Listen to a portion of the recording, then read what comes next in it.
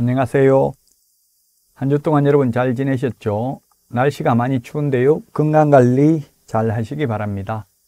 자, 오늘 170페이지 부동산 거래 정보망입니다. 부동산 거래 정보망.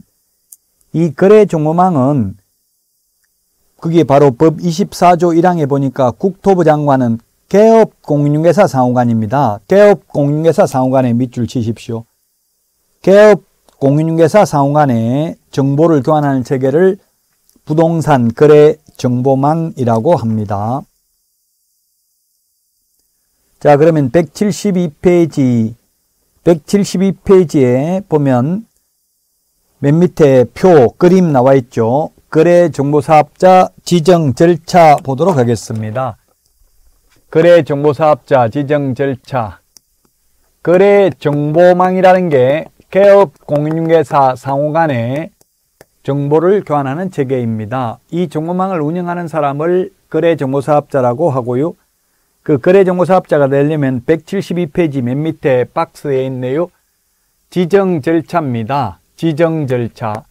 지정받아야 됩니다. 부동산 거래 정보망을 운영하려면 지정 절차를 보면 먼저 부가 통신사업자이어야 합니다. 부가 통신사업자이어야 하고요. 과학기술정보통신부 장관, 과기부 장관에게 부가통신사업자로 신고한 자 중에서 지정신청을 합니다. 지정신청은 어디다가 합니까? 국토교통부 장관, 국토교통부 장관에게 지정 신청을 하면 국토교통부 장관은 30일 이내에 지정서를 교부합니다. 30일 이내에 지정서를 교부하고요. 지정서 교부받고 나면 3개월 이내에 운영규정을 제정하여 운영규정을 제정하여 국토교통부 장관의 승인을 받아야 됩니다. 국토교통부 장관 승인을 받아야 되고요. 그 다음에 지정받은 날로부터 1년 이내에 정보망을 설치 운영해야 됩니다.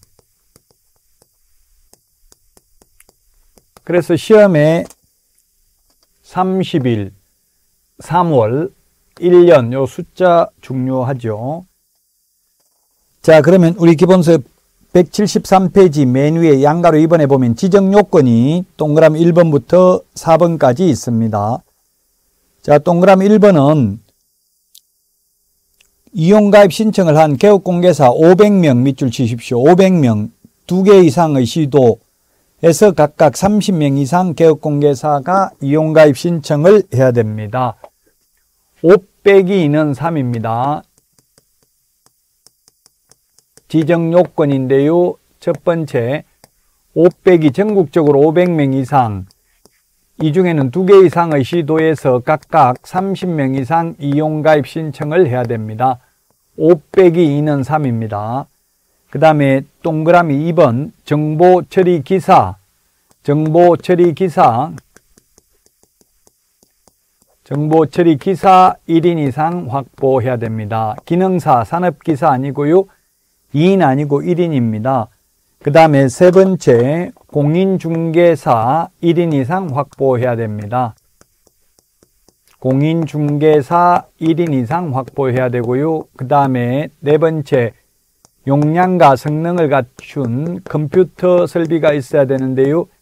이 컴퓨터 설비는 회원으로 가입하려는 개업공인중개사 컴퓨터가 커야 되는 게 아니라 거래정보사업자 될 사람 메인 서버 컴퓨터 용량이 일정 규모 이상이어야 합니다. 양괄호 3번에 보면 지정 신청 시 구비 서류입니다. 구비 서류는 이 네 가지를 갖췄음을 입증하는 서류와 함께 하나 더 필요한 게 서류는 다섯 가지죠. 요 네 가지를 갖췄음을 지정 요건을 갖췄음을 입증하는 서류와 함께 하나 더 제출해야 되는 게 부가통신사업자 신고 필증입니다. 부가통신사업자 신고 필정 과학기술정보통신부 장관에게 한다고 했죠. 자, 그 다음에 지정 요건을 갖췄음을 입증하는 서류가 뭡니까? 이거 개업공개사 등록증, 등록증 사본 500장 이상 있어야 되고요. 정보처리기사, 공인중개사 자격증 사본이 있어야 되고요. 그 다음에 컴퓨터 용량을 갖췄음을 입증하는 서류 제출하면 될 것입니다. 자, 그 다음에 173페이지 맨 밑에서 네 번째 줄 30일, 30일 동그라미 하십시오. 30일이라고 했죠? 30일. 30일 이내 지정서를 교부합니다. 자, 그 다음에 174페이지 양가로 5번 운영규정 제정인데 동그라미 1번 3개월 동그라미 하십시오. 3개월 3개월 이내에 운영규정을 제정하여 승인받아야 됩니다. 자, 그 다음에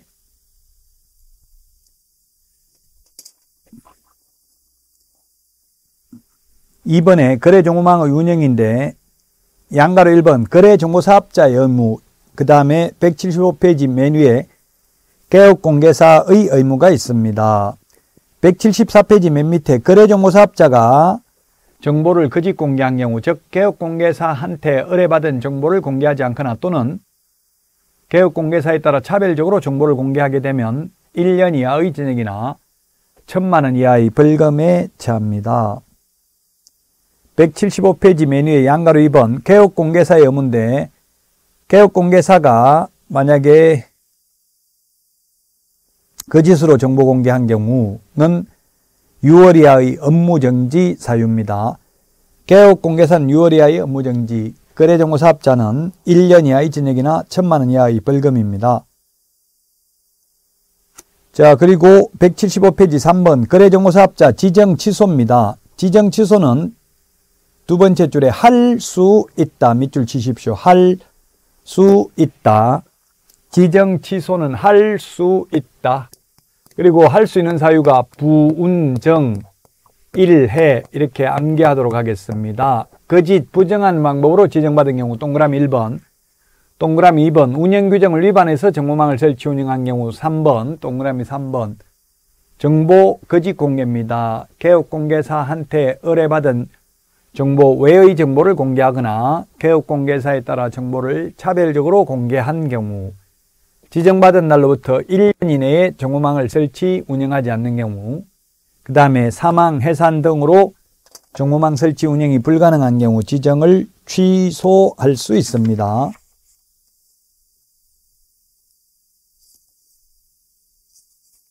자, 다음은 180페이지.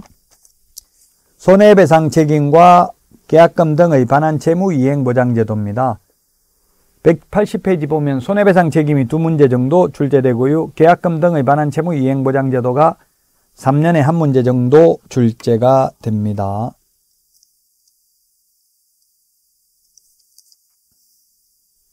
자, 182페이지 2번 손해배상 책임 요건입니다. 양가로 1번 개업 공인중개사의 고의가실이 있거나 또는 고용인 직원의 고의가실이 있어야 됩니다. 그 다음에 184페이지 위에서 다섯 번째 줄 동그라미 3번 다른 사람의 중개행위 장소 제공입니다. 장소 제공 두 번째 줄 동그라미 3번 두 번째 줄 밑줄 치시고요. 이 장소 제공으로, 제공으로 인하여 184페이지 맨 밑에서 다섯 번째 줄 양가로 2번 재산상 손해가 발생해야 됩니다. 비재산상 손해는 공인중개사법상 배상 책임은 없습니다. 185페이지 이런 재산상 손해 발생과 고의과실 사이에는 인과관계가 있어야 된다.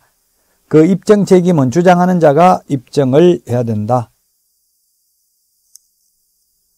자, 그러면 다시 한번 손해배상 책임을 정리를 해보면 손해배상 책임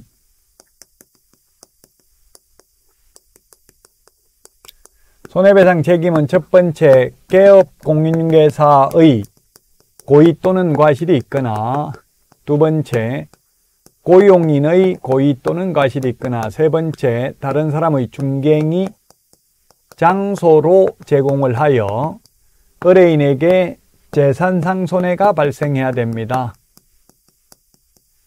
재산상 손해가 발생해야 하고요. 비재산상 손해는 배상하지 않습니다. 이 재산상 손해 발생과 고의과실 사이에 있는 인과관계, 견년성, 상관관계가 있어야 됩니다. 재산상 손해가 발생하면 손해배상금,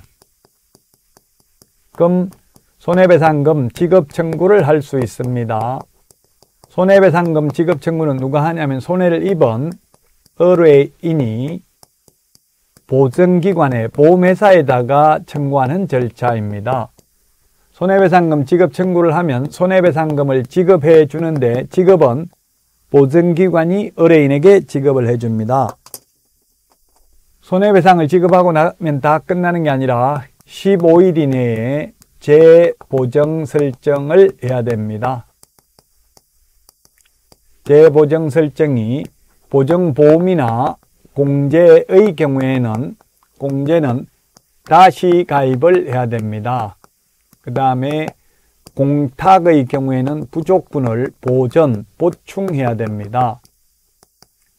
이런 손해배상을 지급하고 나면 다 끝나는 게 아니라 구상권을 행사할 수 있습니다.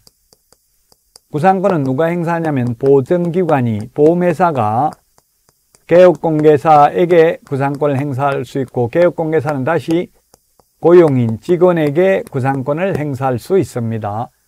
너가 갚아야 될 돈을 내가 대신 갚았으니 보험회사가 갚은 돈을 돌려달라고 요구할 수 있는 권리를 구상권이라고 합니다.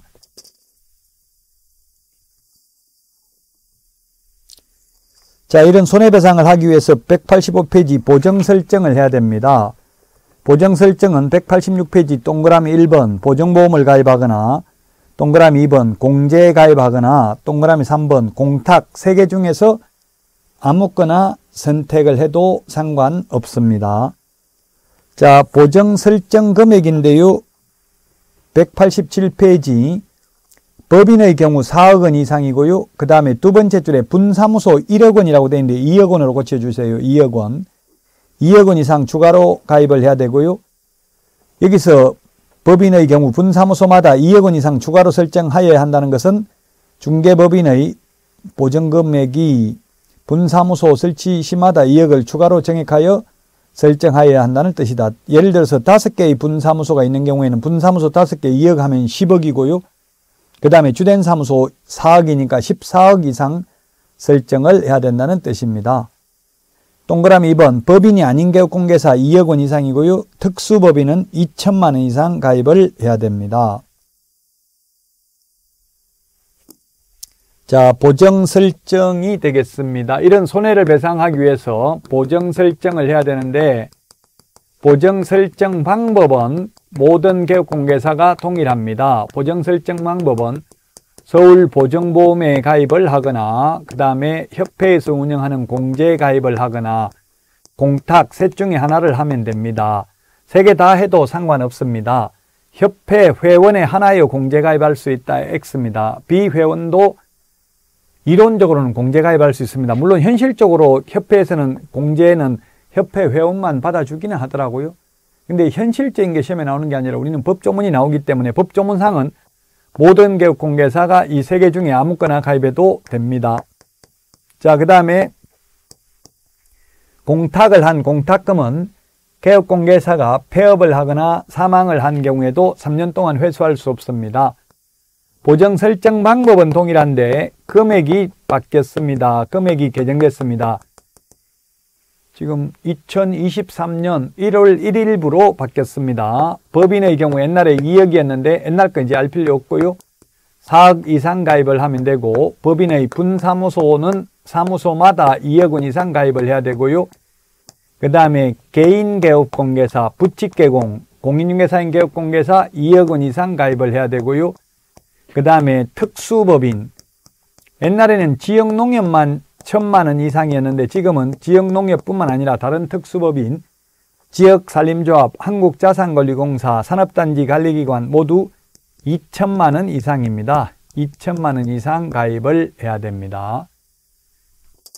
자, 그 내용이 지금 187페이지에 박스 다 숫자 잘 돼 있는데요. 187페이지 맨 위에서 두 번째 줄에 그 분사무소 1억 원 2억으로 고치시라고 했습니다. 자, 그 다음에 187페이지 양가로 3번 보정 설정 신고입니다. 보정 설정은 등록을 한 때에는 업무 시작하기 전에 보정 설정한 후 그 증명 서류를 갖추어 등록 관청에 신고를 해야 됩니다. 동그라미 2번 보정기관이 등록 관청에 보정 사실을 직접 통보한 경우에는 신고를 생략할 수 있습니다. 자, 그 다음에 188페이지 다른 보정으로 변경입니다. 변경. 변경은 효력 있는 기간 중에 두 번째 줄에 효력 있는 기간 중에 변경할 수 있습니다. 양가로 2번 만료되었을 때에는 만료일까지 만료일까지입니다. 만료일 다음 날이 아니라 만료일까지 다시 설정하고 신고해야 됩니다. 자, 양가로 3번 공탁금 회수 3년간 회수할 수 없다고 했습니다. 3년 동그라미 하시고요. 그 다음에 5번 보정 설정 사항 설명하고 교부해야 되는데요. 개업공개사는 중개가 완성된 때에는 5번에 중개가 완성된 때에는 몇줄 치십시오. 우리 중개대상물 확인 설명을 할 때에는 의뢰 받은 경우 중개 완성 전에 설명해야 되는데 보정 설정은 중개 완성된 때, 즉 계약 성립된 때에 설명하고 그 관계증서 사본을 교부하거나 관계증서에 관한 전자문서를 제공해야 됩니다. 뭘 설명해야 되냐면 5번에 동그라미 1번 보장 금액입니다. 그리고 2번 보정보험회사 공제사업을 행하는 자 공탁기관 및 그 소재지 보장기간을 설명을 하고 그리고 관계증서를 교부해야 됩니다. 자, 그 다음에 손해배상금 지급인데 6번 맨 밑에 손해배상금을 지급받으려면은 손해배상금 지급 청구하려면 입증 서류를 제출해야 됩니다. 손해가 발생했음을 입증하는 서류를 제출해야 되는데 그 입증 서류가 뭐가 있느냐면 당사자 간에 손해배상 합의서가 있고요. 합의가 안 되었을 때에는 승소 판결문이 있거나 또는 판결문과 동일한 효력이 있는 화해조서, 조정조서, 지급명령서, 이행권고 결정서 뭐 등이 있으면 되겠죠. 입증 서류는 있어야 된다. 말로만 손해 발생했다라고 하면 안 됩니다. 자, 그 다음에 190페이지 양가로 2번 보전금액의 보전입니다. 개업공개사가 보정보험, 공제금 또는 공탁금으로 손해배상을 한 때는 15일, 15일 동그라미 하십시오. 15일 이내에 재보정 설정해야 됩니다. 여기 15일 있죠? 15일 이내에 재보정 설정을 해야 된다. 15일입니다. 15일. 자, 그 다음에 191페이지 7번 위반시 제재입니다. 동그라미 1번 아예 처음부터 보정 설정을 하지, 않았다면 등록을 취소하거나 6월 이하의 업무 정지 처분을 받습니다. 191페이지 맨 밑에 동그라미 2번 중개가 완성된, 완성된 때에는 거래 당사자에게 손해배상 책임에 관한 설명을 하지 않거나 관계 증서를 교부하지 않는 경우는 100만원 이하의 과태료 대상이 되겠습니다. 100만원 이하의 과태료 대상이 된다. 자, 그러면 보정 설정 시기, 보정 설정 시기를 보면 처음에 보정 설정은 등록 후 등록 후 업무 개 시 전입니다. 업무 개 시 전. 업무 개 시 전에 설명을 해야 됩니다. 근데 보정의 변경은 효력 있는 기간 중에 언제든지 바꿀 수 있다. 효력 있는 기간 중이기 때문에 만기 끝나야 바꿀 수 있는 것은 아닙니다. 효력 있는 기간 중에 바꿀 수 있고요. 만료되었을 때에는 만료일까지 만기 끝나는 날까지 다시 가입을 해야 됩니다. 그 다음에 손해배상을 해주고 나면 손해배상을 해주고 나면 15일 이내에 재보정 설정을 해야 된다. 15일 이내에 재보정 설정을 해야 된다. 다시 재보정 설정을 해야 됩니다. 15일입니다. 손해배상 해주고 나면 자, 그 다음에 설명해야 될 사항이 뭐가 있다고 했습니까? 설명해야 될 사항 설명해야 될 사항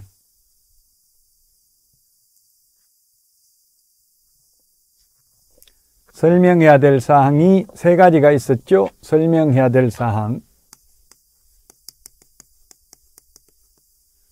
설명을 해야 되는데 설명은 중개대상물 확인 설명은 의뢰 받은 경우 중개 완성 전까지 설명하는데 보정 설정에 대해서는 거래 완성된 때, 중개 완성된 때, 계약 성립된 계약서 작성 시에 설명도 하고 관계 증서도 교부해야 된다. 설명을 해야 되는 게 뭘 설명하라고 했어요? 보장 금액을 설명해야 됩니다. 보험금은 설명을 해야 되지만 보험료는 설명할 필요 없습니다. 즉 제가 손해피면 2억까지 서울보정보험에서 손해배상 받을 수 있습니다. 이거는 설명을 하는데 제가 2억 배상해 주기 위해서 보험료 39만 어, 6천 원 2억에 대한 보험료가 39만 6천 원입니다. 39만 6천 원 입금해놨다. 이런 말은 할 필요 없습니다. 공제료가 39만 6천 원인데요. 공제금, 즉 2억이 2억에 대한 한국공개사협회 공제료가 39만 6천 원이라는 이야기입니다. 즉 보험료 내는 돈은 설명할 필요 없고 타는 돈만 설명해 주면 됩니다. 자, 보장 금액은 설명을 해 주어야 합니다. 보장 금액은 설명을 해야 된다.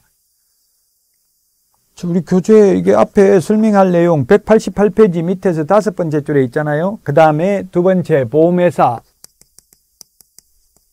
보험회사, 공제조합, 공탁기관 및 그 소재지를 설명해야 되고 그 다음에 보장기간 설명해야 됩니다. 보장기간 설명해야 된다.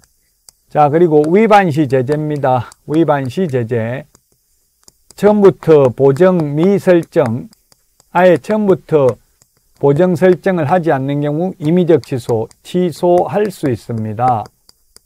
임의적 취소할 수 있고요. 그 다음에 취소 안 하면 업무정지 처분할 수 있습니다. 업무정지 처분할 수 있다. 그런데 보정 설정은 하고 보정 관계 증서, 보정 관계 증서를 미교부, 교부하지 않거나 그 다음에 보장 금액 등을 설명하지 않는 경우 보장 금액 미설명, 설명하지 않는 경우에는 이 두 개는 100만 원 이하의 과태료 대상입니다. 처음부터 보정 설정을 안 하면 등록을 취소할 수 있고 보정 설정은 해놓고 보장 금액 등을 설명하지 않는 경우에는 100만 원 이하의 과태료 대상이 되겠습니다. 191페이지까지 했습니다. 자, 그 다음에 195페이지입니다. 195페이지. 계약금 등의 반환 채무 이행 보장 제도입니다.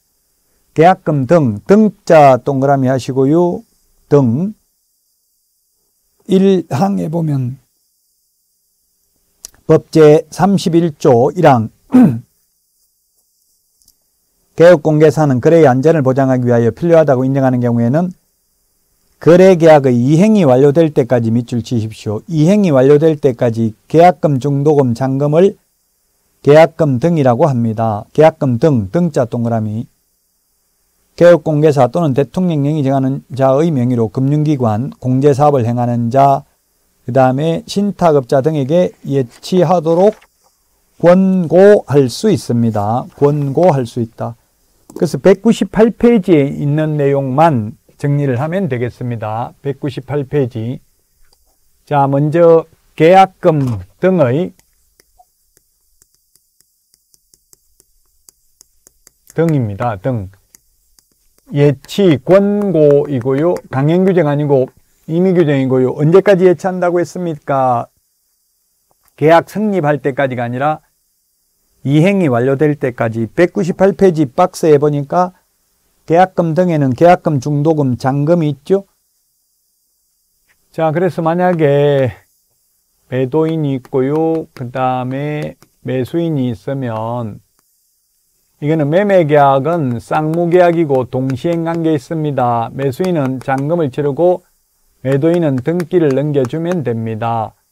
근데 이게 현실적으로 동시행을 할 수 없기 때문에 주로 매수인이 선이행을 합니다. 등기 이전에 필요한 매도용 인감증명서 등을 받고 잔금을 치르고 있습니다. 그래서 불안하니까 동시행을 하려면은 등기부에 등기관이 기재하는 순간 잔금을 치러야 되는데 현실적으로는 등기 이전에 필요한 매도용 인감증명서만 받고 미리 잔금을 치르고 있죠. 그래서 선이행을 하니까 불안하니까 바로 매도인한테 돈을 주지 않고 예치기관, 공신력 있는 예치기관에 맡겨놨다가 확실하게 떼이지 않고 돌려받을 수 있는 장치를 마련한 후에 매도인에게 주는 제도입니다.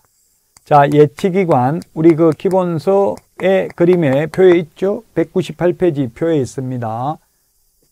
금융기관, 그 다음에 공제사업을 행하는 자, 협회가 되겠죠. 신탁업자에게 예치하도록 원고할 수 있습니다. 자, 그 다음에 예치 명의자입니다. 예치 명의자. 예치 명의자는 일곱 명이 있습니다. 예치 명의자 일곱 명이 있다. 개공은, 개공은 신체 보전입니다. 박스 안에 있죠? 198페이지 개업 공개사 명의로 예치할 수 있고요. 공제사업을 행하는 자, 은행, 신탁업자, 채신관서, 보험업법에 의한 보험회사, 계약 이행관리 전문 회사 명의로 예치하도록 권고할 수 있습니다. 자, 그러면 절대로 매도인은 미리 돈을 받을 수 없느냐? 받을 수 있습니다. 단, 반환 보증서를 예치 명의자에게 제시하고 예치된 계약금 등을 미리 수령할 수 있는데 반환 보증서 발행기관이 금융기관, 그 다음에 보정보험 회사입니다. 보정보험 회사의 이행보증보험 증권을 끊어다가 예치명의자에게 제시하고 예치된 계약금 등을 미리 수령할 수 있습니다. 따라서 예치명의자 7명, 예치기관 3명, 반환보증서 발행기관 2명을 기억해야 되겠습니다. 이건 시험에 3년에 한 번 정도 출제됩니다. 자, 만약 개업 공개사 명의로 예치를 하는 경우에는 실제로는 개업 공개사 명의로 예치 못하도록 해놨죠. 자, 197페이지 양가로 3번 개업 공개사 명의로 예치를 하는 경우 동그라미 1번 예치에 관한 실비 등 약정 의무가 있습니다. 개업공개사는 계약금 등을 개업공개사나 대통령령이 정하는 자의 명의로 예치할 것을 의뢰받은 경우에 이행 완료 또는 계약 해지 등의 사유로 인한 계약금 등의 인출에 대한 거래 당사자의 동의 방법, 반환 채무 이행 보장에 소요되는 실비, 그 밖의 거래 안전을 위하여 필요한 사항을 약정해야 됩니다. 그리고 동그라미 2번 개업공개사는 자기 재산과 계약금 등을 분리해서 관리해야 됩니다. 그리고 거래 당 사자의 동의 없이는 예치된 계약금 등을 인출하여서는 아니 됩니다. 동그라미 3번 지급 보장 의무가 있는데 개업공개사는 계약금 등을 자기 명의로 예치하는 경우에는 당의 계약금 등을 거래 당사자에게 지급할 것을 보장하기 위해서 예치 대상이 되는 계약금 등에 해당하는 금액을 보장하는 보증보험 공제에 가입하거나 공탁해야 되며 관계증서 사본을 교부하거나 관계증서에 관한 전자문서를 제공해야 된다. 그 결국 개업공개사는 못 믿겠다는 이야기입니다. 개업공개사 명의로 1억 예치되어 있으면 계약, 개업공개사가 1억을 찾아가 버릴 수도 있기 때문에 찾아가면 책임지겠다는 보정보험 공제 또는 공탁을 1억을 가입을 해야 됩니다. 그래서 이론적으로는 개업공개사 명의로 예치할 수 있다라고는 되어 있지만 현실적으로 개업공개사 명의로 예치할 수 없죠. 하게 되면 돈이 더 많이 들어가니까요. 자, 실비 받을 수 있는데 4번에 198페이지 메뉴에 실비 한도는 198페이지 메뉴에 동그라미 2번입니다. 계약금 등의 반환 채무 이행 보장에 소요되는 비용으로 하되 개업공개사가 영수증을 첨부하여 매수, 임차, 그 밖의 권리를 취득하고자 하는 의뢰인 밑줄 치세요. 권리를 취득하고자 하는 의뢰인에게 청구할 수 있습니다. 이전 할인은 매도인한테 청구할 수 있는 게 아니라 매수인한테 청구할 수 있습니다. 자, 이거 왜 예치합니까? 매도인 때문에 예치합니까? 매수인 때문에 예치를 하는 겁니까? 지금 돈만 주고 등기를 못 넘겨받고 돈 떼일까봐 매수인이 바로 매도인한테 주지 않고 금융기관 등에 예치하는 거잖아요. 따라서 그 예치를 하려면은 돈이 들어갑니다. 즉 반환 보증서, 반환 보증보험 가입해야 되면 보험료가 들어가게 되겠고요. 이 예치를 해놔도 금융기관에서 이자 주는 게 아니라 오히려 수수료 받아요. 그 들어가는 비용을 매수인에게 청구할 수 있습니다. 매수인 임차인에게 청구할 수 있습니다. 매도인한테 청구할 수 있는 게 아니고요. 자, 여기까지 하고 쉬었다가 202페이지 중개보수부터 하도록 하겠습니다.